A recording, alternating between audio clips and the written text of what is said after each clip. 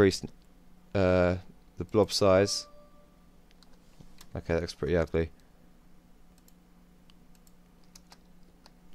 We're going to make the blob size 800. So now you've got a big mound there, you can have some sort of uh, you have this at the centre of the nebula. So it seems like that's the core, and that's sort of the outer mantle of the nebula, which is fair enough. Now, another thing you can do with nebulas are nebula paths, and these are quite tricky. Uh, mostly because um, you'll set out a path, and the nebula will basically follow it. So the first thing I'm going to do is add a pointer here. Now, the way I did that was to hold down the Alt button and to left click anywhere on the map.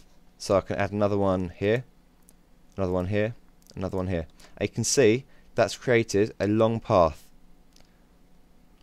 by cl uh, clicking Alt and uh, left clicking each time. Now to change settings on each of these paths you double click on the path and you get this new window pop up. And we're going to select path type to nebula field. I'm going to add this to 5000 so it's a bit higher on the map. And you've got the nebula up here and that's got a bit higher. I'm going to make this one a bit lower just to add a sense of balance. Now, to alter this nebula, it's very similar to the other nebulas. Um, I'm going to create a drag box over this nebula, and this will pop up, which is the settings for nebula, as you've seen for the other two nebulas. Now we're going to make this, instead of the colour it is now, we're going to remove all that green, and we're going to add a hint of blue and now you've got quite a magenta sort of colour. We're going to add an underlying co uh, colour and it's going to be pretty much the opposite. We'll See how this looks. So you've got a purple second layer and an original pink layer. Now it looks quite nice but I'm not too keen on the way it's sort of blotching.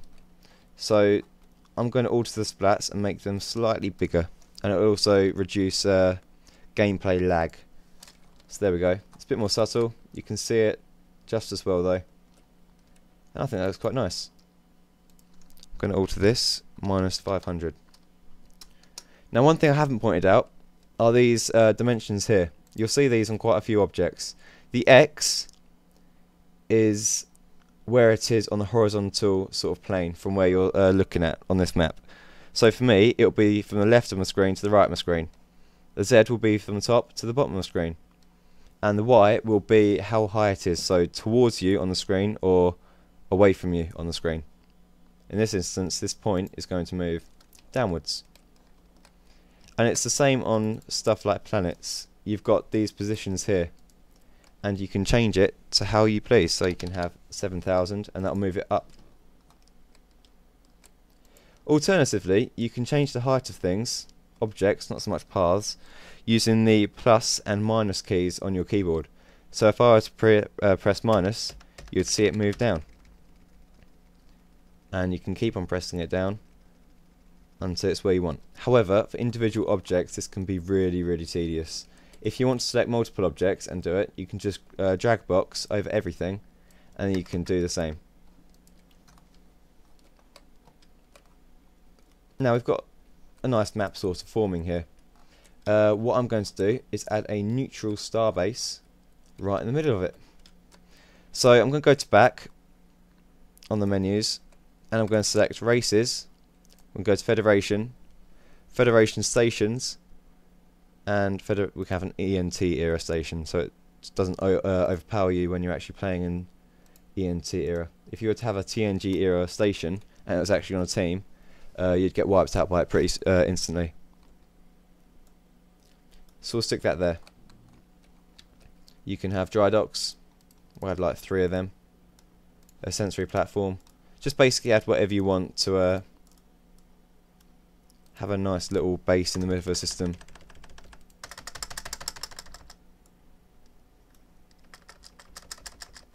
There we go. Nice and simple. Now these will be default set to team 1 which is normally going to be your team. So I'm going to set these to zero, so they just basically sit there, they're not going to do anything.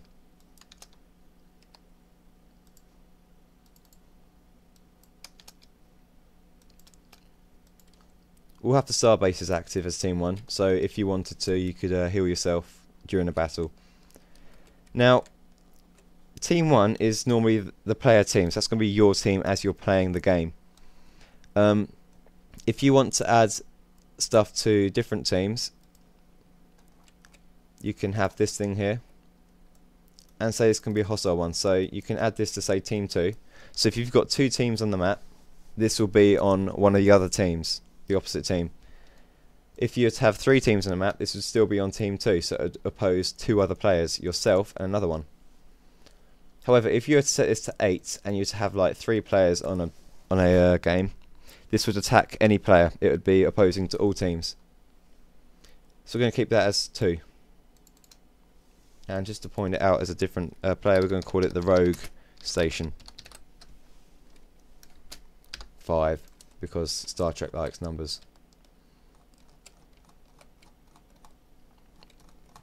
Okay, what else can I go through?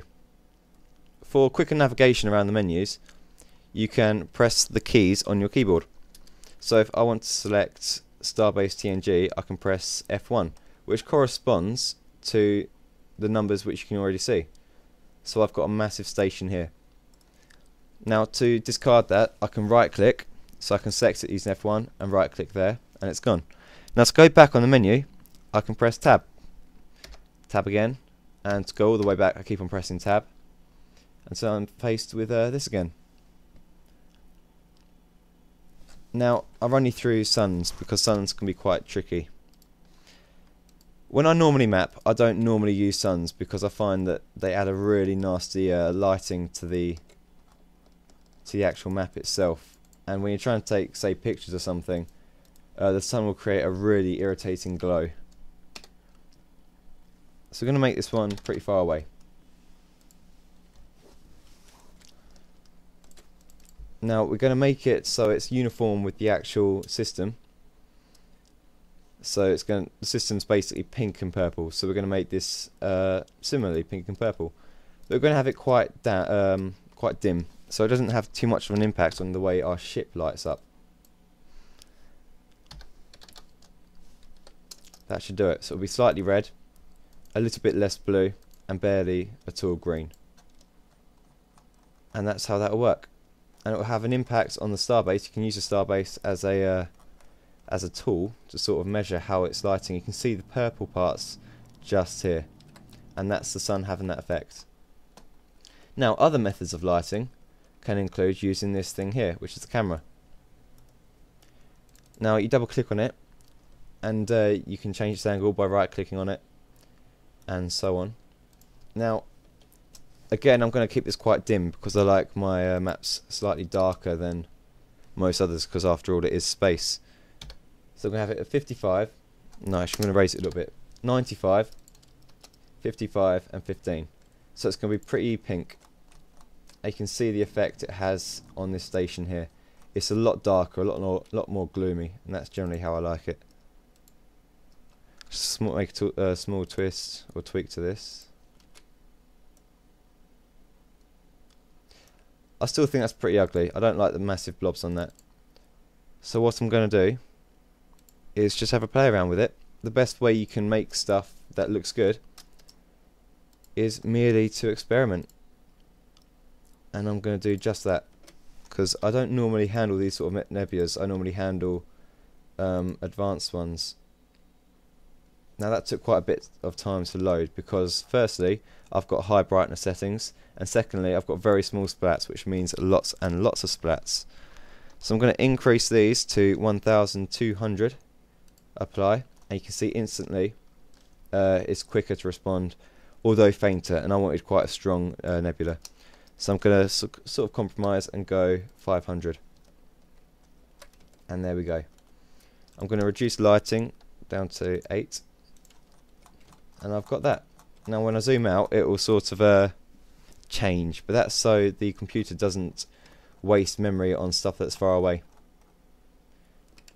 Now I can change more aspects of this.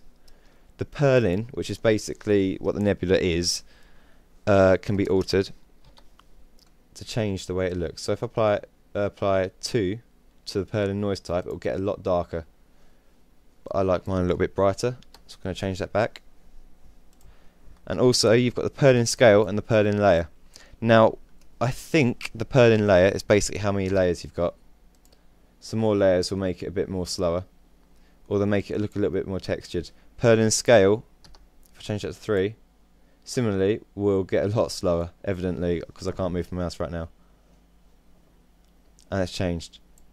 And it looks a little bit nicer, a little bit more textured, but I think 2 is uh, is worth